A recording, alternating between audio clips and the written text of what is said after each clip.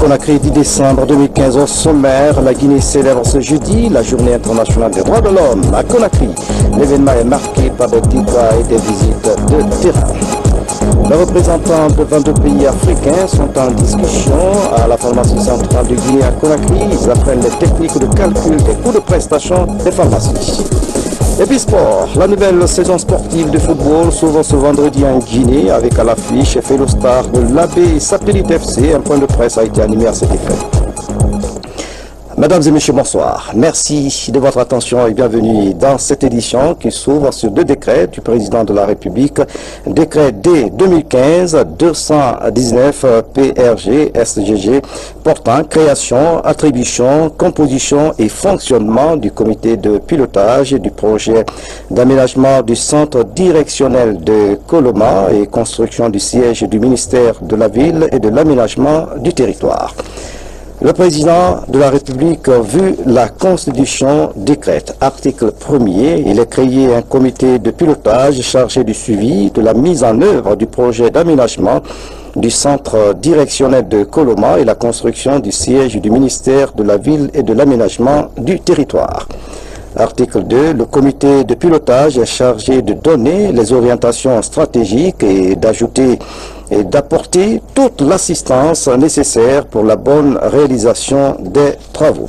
Article 3. Le comité de pilotage est composé ainsi qu'il suit. Président, le ministre d'État à la présidence chargée des questions d'investissement et des partenariats euh, publics et privés vice-président, le ministre de la Ville et de l'Aménagement du Territoire, membre, le ministre d'État, ministre de l'Économie et des Finances ou son représentant, le ministre d'État, ministre des Postes et Télécommunications et des Nouvelles Technologies de l'Information ou son représentant, le ministre de l'Administration du Territoire et de la Décentralisation ou son représentant, le ministre délégué au budget ou son représentant, le ministre des Travaux publics ou son représentant, le ministre de l'Énergie et de l'Hydraulique ou son représentant, le ministre de l'Intérieur ou son représentant, le ministre, l'administrateur général des grands projets et des marchés ou son représentant. Article 4. Pour accomplir sa mission, le comité de pilotage est appuyé par un comité technique dont les attributions, la composition et le fonctionnement feront l'objet d'un arrêté du ministre de la Ville et de l'Aménagement du territoire. Article 5. Les ministres de la Ville et de l'Aménagement du territoire, des travaux publics, de l'administration du territoire et de la décentralisation sont chargés chacun en ce qui le concerne de l'application du présent décret. Article 6. Le présent décret qui prend effet à compter de sa date de signature sera enregistré et publié au journal officiel de la République Conakry le 10 décembre 2015 signé professeur Alpha Condé, chef de l'État. Décret D 2015-220 PRGS-GG portant déclaration d'utilité publique des zones euh, couvertes par le projet d'interconnexion électrique entre la Côte d'Ivoire, le Libéria, la Sierra Leone et la Guinée. Le président de la République, sur proposition du ministre de la Ville et de l'Aménagement du Territoire, vu la Constitution, décrète, article 1er, dans le cadre de la mise en œuvre du projet d'interconnexion électrique Côte d'Ivoire, Libéria, Sierra Leone et la Guinée, euh, sont déclarées d'utilité publique pour le transport et la distribution d'énergie, les zones ci-après. Le site réservé pour la construction du poste source de Zérékouré en République de Guinée pour une superficie de 5 hectares. Le site réservé pour la construction du poste source de l'Insan, préfecture de Kindia pour une euh, superficie de 8 hectares. Le corridor de transport d'énergie d'une longueur de 180 km avec euh, une largeur de 40 mètres traversant Nzo, en République de Guinée, soit 88 hectares le corridor de transport d'énergie d'une longueur de 106,28 km avec une largeur de 40 mètres traversant Kindia et Fourikaria en République de Guinée, soit 425 hectares. Article 2. Les zones supervisées sont déclarées propriété de l'État et mises à la disposition de la société Transco CLSG pour la mise en œuvre de son projet. Article 3. La présente déclaration d'utilité publique constitue l'acte de cessibilité. Article 4. Les modalités et conditions de mise à disposition seront définies dans les conventions internationales spécifiques relatives aux ouvrages communs. Article 5. Sont interdites sur ces zones réservées toute occupation nouvelle à quelque titre que ce soit toute transaction et cession à quelque titre que ce soit de terrain bâti et non bâti comprise dans les dites euh, zones. Article 6. Les occupants seront déguerpis au fur et à mesure des besoins d'aménagement de la puissance publique. L'État guinéen, à travers la société Transco CLSG, s'engage à indemniser et à recaser conformément à la procédure en vigueur à la matière les occupants de ces zones avant leur déguerpissement. Réalisation des expropriations. Article 7. L'expropriation ainsi déclarée devra être réalisée dans un délai de trois ans à compter de la date de signature du présent décret. Article 8. Le ministre de la Ville et de l'Aménagement du territoire procédera à, l'immatriculation des zones avant l'affectation prévue à l'article 4 ci-dessus. Article 9. Les ministères en charge de la ville et de l'aménagement du territoire, des mines et de la géologie, de l'énergie et de l'hydraulique, de l'environnement et des eaux et forêts, de l'administration du territoire et de la décentralisation, de l'intérieur, des transports, de l'agriculture, de l'élevage et des productions animales, des travaux publics, de l'économie et des finances sont chacun en ce qui le concerne chargés de l'application correcte des dispositions du présent décret. Article 10. Le présent décret qui abroge toute disposition antérieure, contraire, prend effet à compter de sa date de signature et sera enregistré et publié au journal officiel de la République Conakry le 10 décembre 2015, signé professeur Alpha Condé, chef de l'État. À quelques jours de la cérémonie d'investiture du président de la République, professeur Alpha Condé, les autorités de la ville de Conakry retroussent les manches pour rendre propre la capitale. Des équipes d'intervention sont mises en place pour dégager les ordures et libérer les emprises. Le gouverneur Osloton contre certaines attitudes. Rose Pocho signe ce reportage. La mise en garde du gouverneur de la ville de Conakry contre les populations rentre en vigueur ce jeudi. Pour l'exécution sans faille de la décision, des équipes d'intervention sont sur pied depuis ce matin pour dégager des immondices qui jonchent les trottoirs. Et ce que nous avons commencé aujourd'hui, euh, on va continuer, on ne sait pas maintenant, jusqu'à ce que ça soit fini en ville. Du pont 8 novembre, on doit terminer à Amdallah. Il y a d'autres équipes aussi qui interviennent en ville. Plus d'une cinquantaine d'agents techniques repartis à travers Conakry sont chargés de procéder au transfert immédiat des ordures. Pourquoi pas qu'on ne peut pas au moins sortir chaque dernier dimanche de mois, nettoyer toute la ville, tout le monde, y compris même le, gouverneur. Mais dans les autres lieux, c'est comme ça. La lutte contre l'insalubrité n'est pas la seule opération engagée.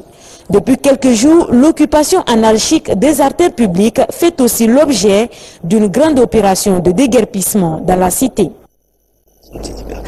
Dans le même registre, le ministre délégué à la défense nationale s'élève contre certaines catégories de personnes qui déversent délibérément des ordures sur la chaussée et les invite à s'abstenir de telles pratiques au risque de s'exposer à la rigueur de la loi. On écoute Abdul Kabele Kamara. Chers concitoyens, il a été permis de constater ces derniers temps des comportements inciviques de la part de certains citoyens de la capitale qui se permettent, en violation de la loi et de la réglementation en vigueur en matière d'hygiène et de salubrité publique, de déverser toutes sortes d'ordures, encombrant ainsi les emprises, les voies et espaces publics de Conakry. Ces actes qui portent atteinte à la libre circulation, à la santé publique, à la sécurité des habitants de Conakry et ses environs sont prévus et punis par les articles 517 à 519 du Code pénal, par le Code des collectivités locales et la réglementation en matière d'hygiène en vigueur. Il nous revient de rappeler que tout contrevenant appréhendé sera immédiatement traduit devant les juridictions compétentes et réprimé conformément à la loi. Toutes les dispositions sont d'ores et déjà prises par le haut commandement de la gendarmerie nationale, direction de la justice militaire, par la direction générale de la police nationale, pour veiller à l'application rigoureuse des présentes mesures. Le ministère de l'administration du territoire et de la décentralisation invite le gouverneur de la ville de Conakry, les maires et l'ensemble des chefs de quartier à prendre les dispositions pour assurer l'assainissement des lieux publics, des voiries urbaines, conformément à la réglementation qui régit les collectivités locales. Le présent communiqué vaut mise en demeure. Et puis euh, ce communiqué du ministère de la fonction publique en raison du caractère exceptionnel, solennel de la journée du 14 euh, décembre 2015 consacrée à l'investiture et à la prestation de serment de son Excellence Monsieur le Président de la République, chef de l'État, professeur Alpha Condé, le ministre en charge de la fonction publique et le ministre en charge du travail informent l'ensemble des travailleuses et travailleurs des secteurs publics, euh, privés et mixtes que la dite journée est déclaré férié, chômé et payé sur toute l'étendue du territoire national. À cette heureuse occasion, les deux ministres souhaitent à toutes et à tous une bonne journée de repos dominical.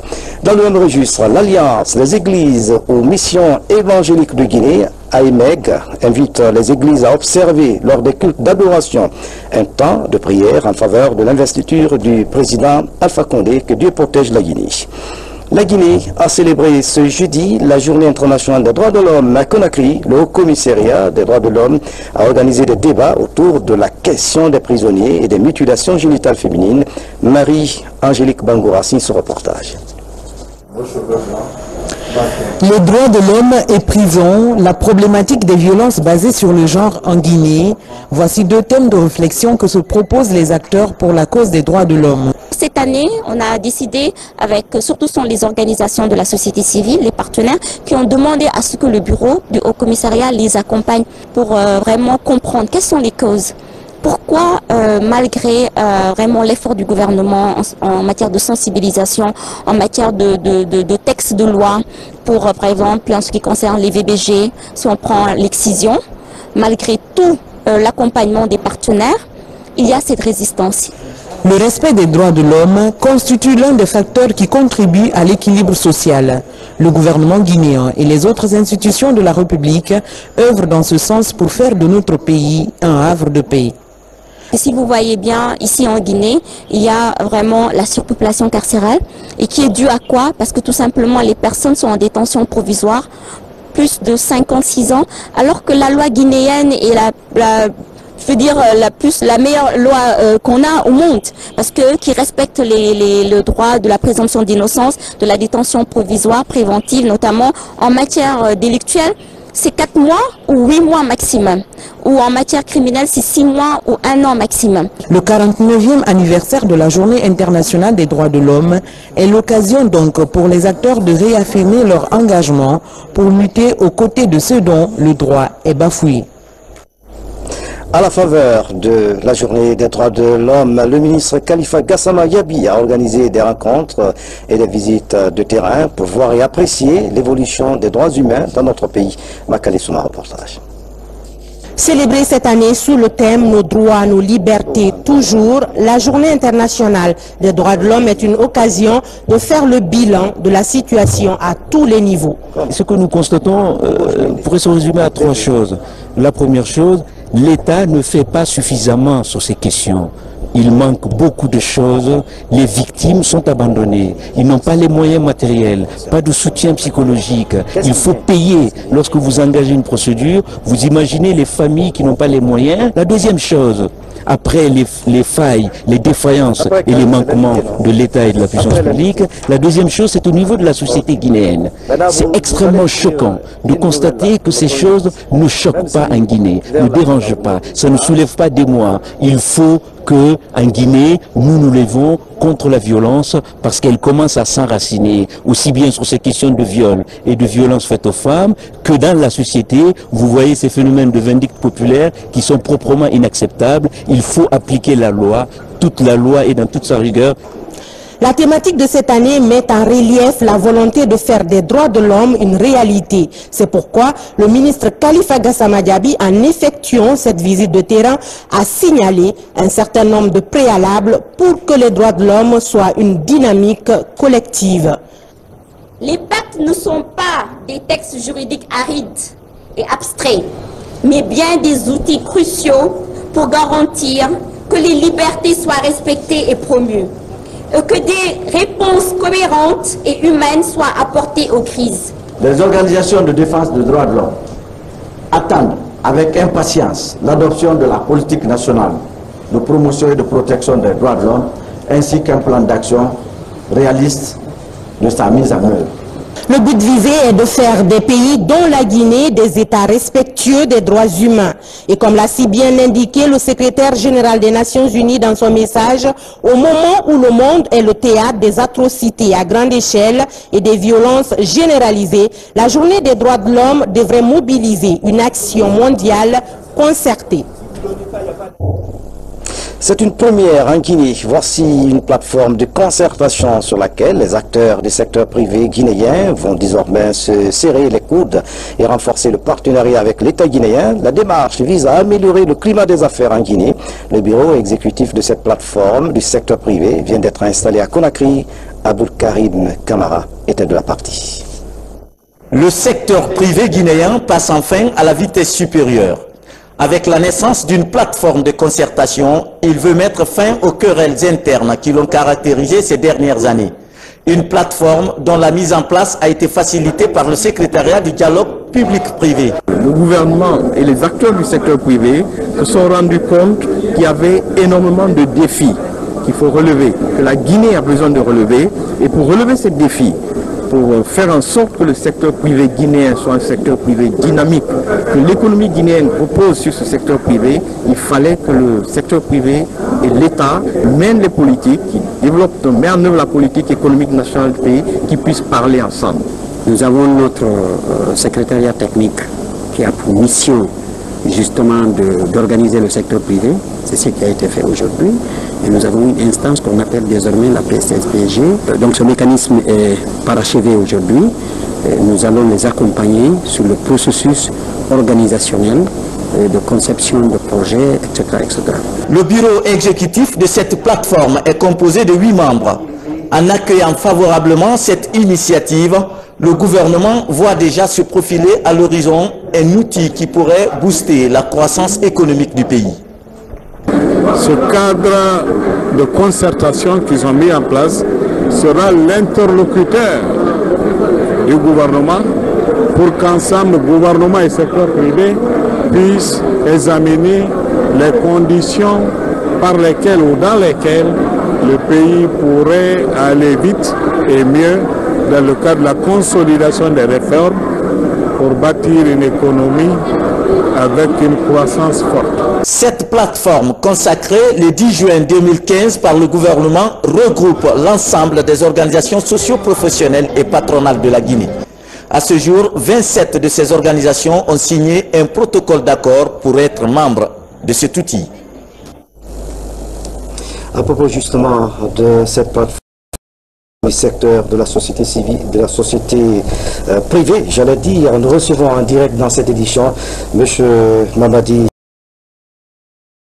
de la plateforme de concertation du secteur privé. Monsieur Yula, bonsoir. Bonsoir, M. Merci d'avoir accepté notre invitation. Quel est votre premier sentiment Parce que vous venez d'être élu? Euh, le premier sentiment que je pourrais exprimer, c'est tout d'abord de vous remercier, vous, de nous donner l'opportunité de nous adresser à vos auditeurs, aux Guinéens, à nos compatriotes, mais aussi un sentiment de gratitude pour euh, la confiance qui a été portée à ma modeste personne pour pouvoir euh, relever un lourd défi, le défi de mettre notre secteur privé en ordre de marche, en ordre de bataille, parce que les défis sont nombreux. Parce qu'apparemment, le secteur privé guinéen évolue en rang dispersé. Euh, Aujourd'hui, euh, nous essayons de regarder vers l'avenir. Nous avons certes connu des moments difficiles par le passé. Le secteur privé souffrait d'une euh, certaine euh, de qui ont été pointées du doigt à maintes reprises par tous les acteurs. Mais très rapidement, euh, le gouvernement, avec à sa tête le chef de l'État, a donné une direction, a souhaité qu'il y ait, au niveau de la Guinée aujourd'hui, tout le monde parle le même langage, c'est-à-dire le gouvernement et le secteur privé. Mais vous, en tant que président de cette plateforme, qu'est-ce que vous comptez faire pour impulser une nouvelle dynamique à ce secteur? Alors, aujourd'hui, il y a un cadre qui, est, qui a été défini, un cadre d'ensemble dans lequel euh, les différentes parties ont chacun sa partition à jouer. Nous, dans cet ensemble-là, nous constituons la plateforme de concertation du secteur privé pour aller à ce que nous avons appelé ici le dialogue public-privé. Dans ce dialogue public-privé, nous nous constituons la partie privée et de l'autre côté, nous avons donc euh, tout ce qui est mis en place du côté gouvernement sous la coupole de ce qu'on appelle le Conseil présidentiel des investissements. Apparemment, quels sont les grands défis qui vous attendent? Alors les défis sont nombreux. Aujourd'hui, l'objectif, la vision, c'est demain d'avoir un secteur privé qui marche, qui parle d'une seule voix, qui s'entend et qui est capable de porter ces enjeux dans ce dialogue-là, de pouvoir parler d'une seule voix au niveau du gouvernement pour poser les grands problèmes et ensemble, à ce niveau-là, trouver des solutions pour que le secteur privé occupe sa place et toute sa place pour faire de la Guinée un pays émergent bientôt. Mamadi Dioula, le nouveau président du bureau exécutif de la plateforme de concertation du secteur privé, merci d'avoir répondu à nos questions. Merci, M. Souma. La compagnie Rio Tinto s'implique dans la formation des jeunes, la formation sur plusieurs métiers dont la société pourrait avoir besoin dans la phase d'exécution du projet Simando sont en cours à Conakry. Moussa Komara fait le point. Cette formation concrétise l'un des volets essentiels du partenariat scellé en juillet 2014 avec le ministère de la formation technique et professionnelle. Nous avons beaucoup d'employés qui n'ont pas forcément les compétences dont nous avons besoin pour le futur. Euh, C'est pour cela que nous avons mis en place ce partenariat avec euh, le, ministère euh, et les différentes écoles pour que nous puissions encore hein, une fois avoir les, compétences dont nous aurons besoin pour les futures phases, du, du, projet. Ces 120 employés sont répartis dans trois centres de formation professionnelle de Conakry. L'École nationale des arts et métiers, l'École nationale des postes et télécommunications et le centre de perfectionnement aux techniques automobiles et mécaniques. Six mois durant, ils vont échanger pour maîtriser tous les métiers qui riment avec les besoins de l'entreprise, notamment la mécanique, engins lourds, électricité industrielle, bâtiments électroniques, plomberie sanitaire, froid industriel et domestique. Et ce sont des métiers dont nous avons besoin aujourd'hui et dont nous aurons besoin dans le futur. C'est pourquoi nous commençons ce projet de formation sur mesure est un projet pilote qui doit nous permettre de tester le modèle de développement et de formation de la masse d'ouvriers que nous aurons besoin pour le projet de Simadou. Ce partenariat pourrait améliorer le niveau de formation technique en Guinée. Le géant minier va équiper plusieurs CFP ou encore construire de nouvelles infrastructures pédagogiques à travers le pays. C'est vraiment une mesure incitative pour les apprenants de l'enseignement technique et de la formation professionnelle. Puisque Rio Tinto, c'est une société qui va employer beaucoup de cadres. Et on étudie pour avoir de l'emploi. Et comme le Rio Tinto vient à l'enseignement technique pour développer des compétences, et à cause de ces compétences, les enfants peuvent être compétitifs dans le marché de l'emploi. Dans la préfecture de Beila, un centre de formation professionnelle est déjà construit et équipé par Rio Tinto. Avec le projet pilote Simandou, l'entreprise compte valoriser la main-d'œuvre locale pour faire avancer le projet. À l'étranger, la COP21 à Paris, les négociations se poursuivent pour l'obtention d'un accord qui va réduire la production du CO2. En plus euh, des politiques et des scientifiques, les acteurs de la société civile sont très impliqués dans ce combat pour sauver la planète. Abouakar Kamara. À quelques heures de la signature de l'accord historique de Paris sur les changements climatiques, la société civile accentue la pression sur les politiques. Au-delà des communiqués ou autres points de presse, les activistes attirent l'attention par des actes symboliques. Depuis ce matin, ce tour géant est l'attraction de la COP21. Greenpeace le présente comme le porte-voix de l'Antarctique, victime de la fonte des glaces. Cet ours polaire représente euh, l'Arctique et l'Arctique est l'une des régions les plus menacées par le dérèglement climatique. Donc on a fait venir cet ours polaire ici pour euh, adresser un message aux, dizaines de milliers de personnes qui passent ici devant, euh, devant cet ours tous les matins pour leur dire voilà c'est maintenant qu'on doit prendre les bonnes décisions pour lutter contre le dérèglement climatique. C'est maintenant qu'on doit passer à l'action. On ne peut plus attendre parce que ma région, l'Arctique, est particulièrement menacée. D'autres organisations improvisent des regroupements bouillants pour marquer l'importance d'inclure les thèmes sociaux dans les accords. C'est les sujets comme les droits de l'homme, l'égalité des genres, le droit des peuples autochtones une transition juste pour les travailleurs, par exemple. Les, groupes les membres de la société civile pensent que c'est des éléments essentiels qui doivent vraiment être critiques et doivent avoir une place au sein de l'accord, une place forte, qui permette d'intégrer dans le futur les actions climatiques et la protection des droits des personnes. Syndicats, organisations de jeunesse et de femmes, représentants des peuples autochtones, tous embouchent la même trompette, parvenir à un accord qui diminuera de façon drastique l'émission de CO2. Toute la société civile des pays en voie de développement qui est là fait pression aussi. Et nous exigeons, même je le dirais, que les pays développés trouvent le consensus et s'alignent vers ce qui a été jusque-là négocié pour que le climat s'améliore pour les générations futures. La présidence de la COP21 rassure que des progrès sont réalisés sur le projet d'accord final. Le texte est passé de 43 à 29 pages. Mais trois questions font encore objet de discussion. La différenciation des responsabilités, le financement et le niveau d'ambition de l'accord. 1 degré 5 ou 2 degrés Celsius. Ces questions doivent être tranchées avant vendredi à 18h. Ici à Conakry, comment analyser le budget de l'État L'hémicycle, la question préoccupe les élus du peuple à l'Assemblée nationale. La rencontre est organisée et financée par l'ONG Oshiwa Guinée. L'initiative devrait permettre aux députés de comprendre les procédures de contrôle de l'action gouvernementale.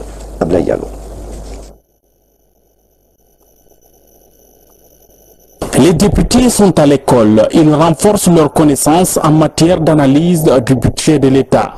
La démarche s'inscrit dans le but de préparer ces élus du peuple à mieux contrôler les actions du gouvernement une des missions principales du Parlement. nous avons besoin de renforcer nos capacités pour bien le faire et c'est pourquoi nous sommes là. Les moyens ne sont jamais suffisants, mais ceux à notre possession nous permettent tout au moins de lancer l'activité, de lancer l'opération et c'est dans le cadre de l'exécution de notre propre mission. Les députés sont de divers horizons, de par leur formation initiale. Il y a des biologistes là-dedans, il y a des agronomes, il y a des agriculteurs, il y a, ils sont venus de tous les horizons. Donc ces, ces outils juridiques et comptables ne leur sont pas automatiquement accessibles. Pour gagner le pari, un document est élaboré pour permettre aux participants de mieux cerner les préoccupations des citoyens. Au sortir de cette rencontre, les députés devront être capables de jouer leur rôle pendant les prochaines sessions budgétaires de l'Assemblée nationale. Étant une nouvelle Assemblée nationale, il est utile pour renforcer la capacité des députés sur des questions de l'analyse du budget de l'État, la loi des finances initiales, parce que le gouvernement va soumettra le budget à l'Assemblée nationale, donc il revient aux députés de l'analyser, de voir la pertinence et des priorités pour pouvoir euh, l'adopter. Pour les organisateurs, l'Assemblée nationale est une institution importante dans la démocratisation, le respect des droits et de la justice. En initiant cet échange, Osiwa veut rester fidèle à sa mission, celle de promouvoir l'état des droits. Le national de pilotage du programme en capacité vient de tenir sa première session à Conakry. Il a été question d'harmonie compte du document. L'initiative est pilotée par le secrétariat national de renforcement des capacités, Sénarec, Mamadi Gassama.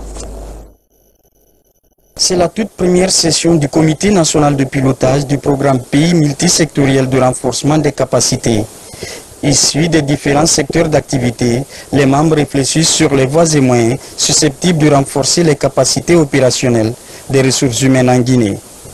Quand on aura mis en place euh, le programme multisectoriel de renforcement des capacités, cela comportera un ensemble de projets. La forme d'intervention, ça sera de financer ces différents projets euh, jugés prioritaires dans le pays, euh, de nous aider à les mettre en œuvre et, et finalement d'en assurer le suivi et l'évaluation. Le programme pays multisectoriel de renforcement des capacités est une initiative de la Fondation pour le renforcement des capacités en Afrique, ACBF.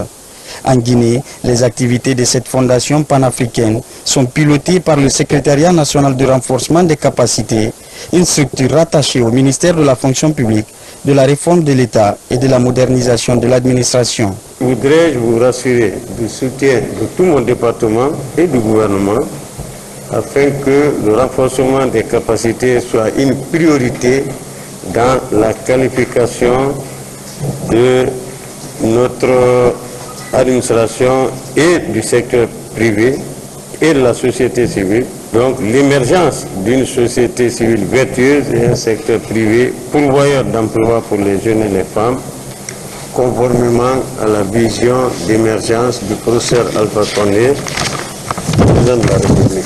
C'est en 2012 que la Guinée a signé son accord d'adhésion à l'ACBF, faisant ainsi d'elle le 38e pays membre de la Fondation. Et puis cette information qui vient de nous parvenir à l'instant même, le Premier ministre, chef du gouvernement, a entrepris une tournée dans les réceptifs hôteliers de la capitale. Mohamed Saïd Fofana tente de s'assurer de l'état des hôtels avant la cérémonie d'investiture du président de la République. Ousmane Bangoura, reportage.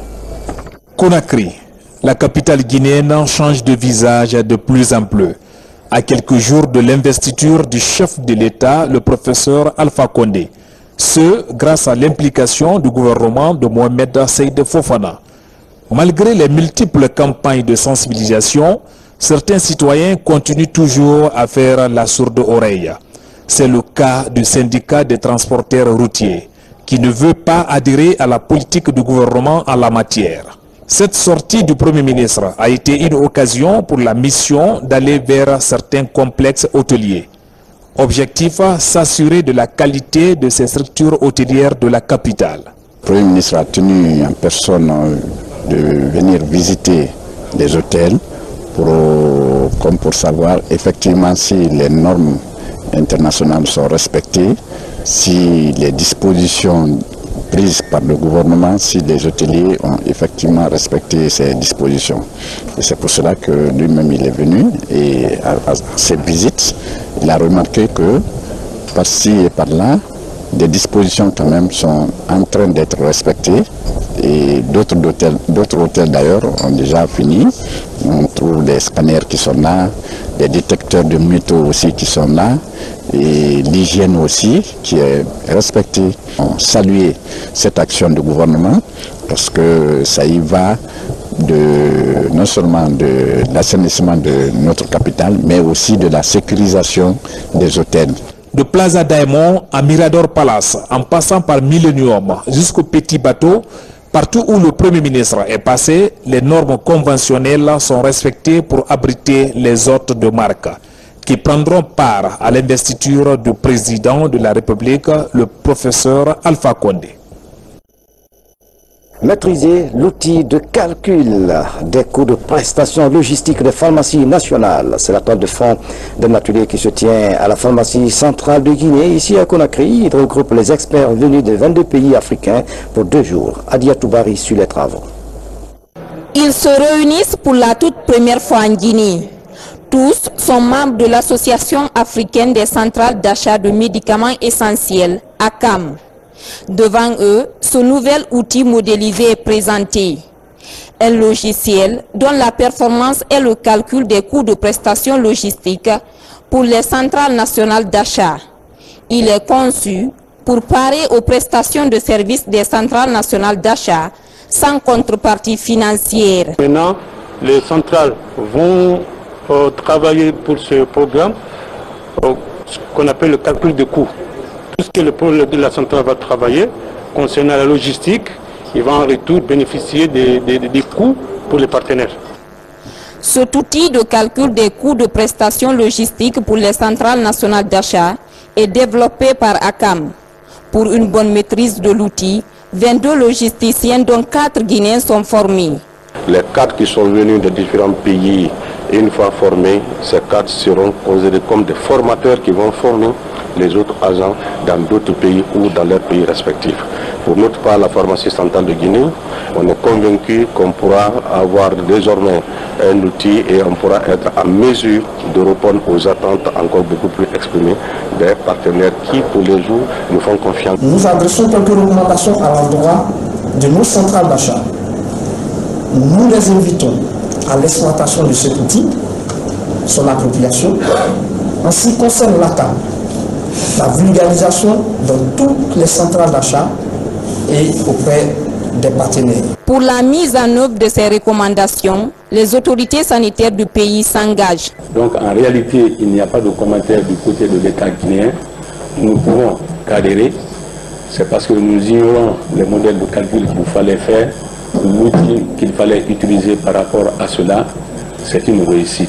Le choix de la Guinée pour abriter cette rencontre panafricaine fait suite aux résultats de l'évaluation de la pharmacie centrale de Guinée par France Expertise Internationale. Une évaluation qui révèle l'exploit de la pharmacie centrale dans l'amélioration de son système d'assurance qualité. La PCG s'est illustrée aussi dans la riposte à Ebola. Dans l'actualité encore, évaluation du niveau d'exécution du projet sur la circulation des armes légères et des petits calibres dans l'espace Madoriva Union. Les débats devraient aboutir à des recommandations visant à limiter ce phénomène. Le reportage de commandant Mohamed Kassé, correspondant de la presse militaire. Le contrôle effectif de la circulation et la prolifération illicite des armes légères et de petit calibre dans l'espace Manoriva Union est l'un des soucis majeurs de l'Union européenne, la CDAO et la communauté Guinée. Les discussions ont porté sur des questions de sensibilisation des autorités locales sur les dangers liés à la détention illégale des armes légères et sa circulation.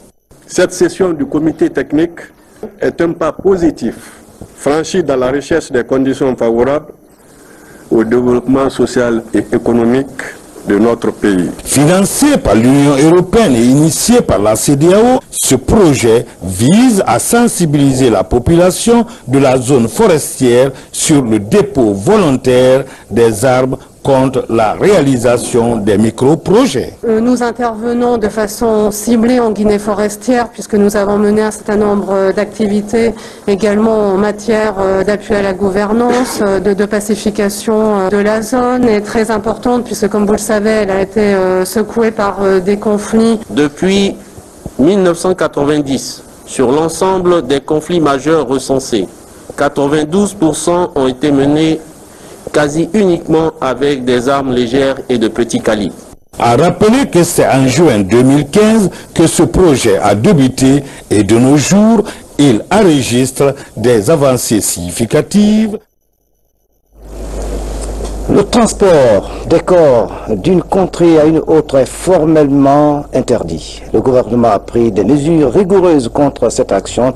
Il s'agit de limiter la propagation du virus Ebola, mais des personnes mal intentionnées tentent de violer cette décision. Saïd Banyaï, reportage.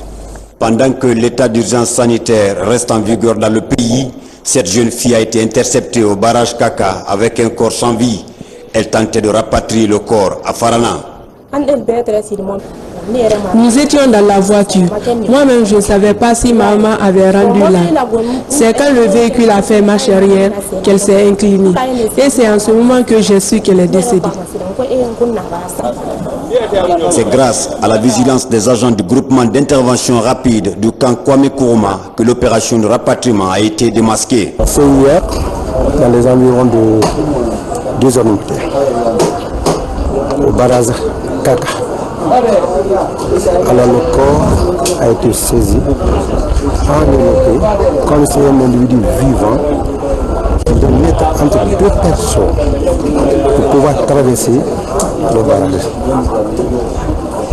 Le jeune Fantamadi Kondé, coordinateur de Kaka, étant déjà très informé de ces pratiques, a pu mettre main, dévoiler leur forfaiture. Aussitôt, je me suis rendu au niveau de Kaka. Nous avons décidé de mettre le corps à la disposition de la coordination de la préfecture de Koya et les individus ont été conduits au groupement d'intervention gratuite.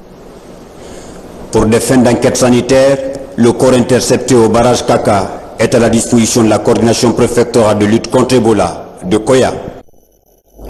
Page noire, le général de brigade Fodé Momo Kamara, ancien membre du CMRN et conseiller du ministre délégué à la Défense nationale, est décédé hier mercredi 9 décembre 2015 à l'hôpital sino-guinéen des suites de maladie. En cette douloureuse circonstance, le ministre délégué à la Défense nationale, le chef d'état-major général des armées, le haut commandant de la gendarmerie nationale, directeur de la justice militaire et le chef d'état-major de l'armée de terre adressent leurs condoléances les plus attristées à la famille éplorée, aux forces de défense et de sécurité, au peuple de Guinée et au président de la République, chef des armées, le professeur Alpha Condé. Par ailleurs, la cérémonie funèbre aura lieu le vendredi 11 décembre 2015 au bataillon du quartier général quand Almami Samori Touré à partir de 10h et l'enterrement est prévu au cimetière de Cameroun après la prière de 14h. Personne âme. Sport, avant de refermer cette édition, la nouvelle saison sportive 2015-2016 s'ouvre ce vendredi par la rencontre Philospar et le satellite FC. La Ligue guinéenne de football professionnel a donné un point de presse à cet effet. Adiatou Kadia Traoré était de la partie. Écoutez-le. Après la Super Coupe que l'association sportive de Kaloum a remportée au tir au but face au Royal Athletic Club, une rencontre qui marque l'ouverture de la saison sportive prévue ce vendredi 11 décembre à la entre le Fellow Star et le Satellite FC. Le bureau exécutif de la Ligue guinéenne de football professionnel était donc devant la presse ce jeudi pour expliquer aux hommes de médias les tenants et les aboutissants de la professionnalisation de notre championnat, mais surtout demander l'apport de la presse sportive pendant cette année d'expérimentation. Ligue professionnelle parle d'infrastructure, qui a déjà 11 terrains synthétiques qui sont disponibles. 11 terrains synthétiques sont déjà disponibles.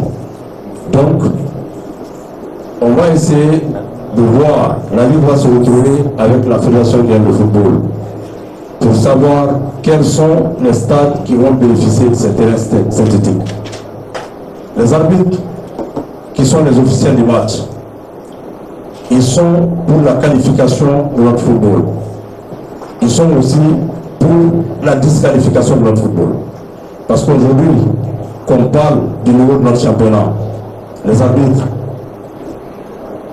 sont en partie responsables, mais la presse aussi que vous êtes, excusez-moi, vous êtes aussi en partie responsable. A précisé que les droits TV et radio pour cette première journée seront gratuits. Selon les organisateurs, une formule de retransmission des matchs de la Ligue professionnelle sera bientôt communiquée aux organes de presse. Voilà, mesdames et messieurs, c'est la fin de cette édition à tous. Merci de nous avoir suivis. Excellente soirée. Où que vous soyez dans le monde. À bientôt.